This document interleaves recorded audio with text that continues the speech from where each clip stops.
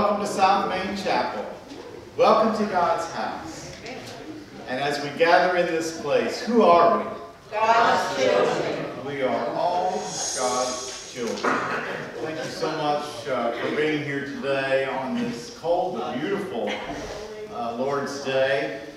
And uh, I put this in the bulletin, but the beautiful table arrangements that you see uh, on our altar table are dedicated to the memory and honor of Barbara Whose life we, we were able to celebrate here yesterday.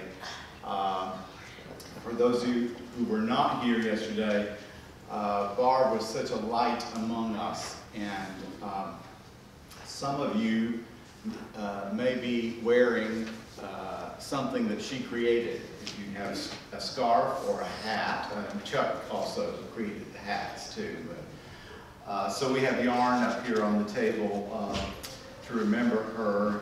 And uh, short, and then Mary McAllister had done the, the beautiful uh, holly berry and greenery because Barb loved Christmas so much. Uh, their home was filled with Christmas all year round.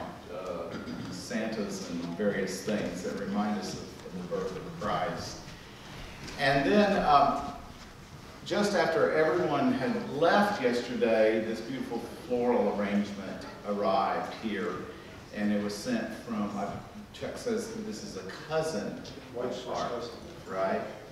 And uh, so we have lots of fruit, and, and so one of the things we also said yesterday was that Barb loved flowers in their yard, is, uh, in the springtime especially, it's just a, a beautiful garden of, of flowers. So so anyway, we, we dedicate our, our gathering today to, to Barb's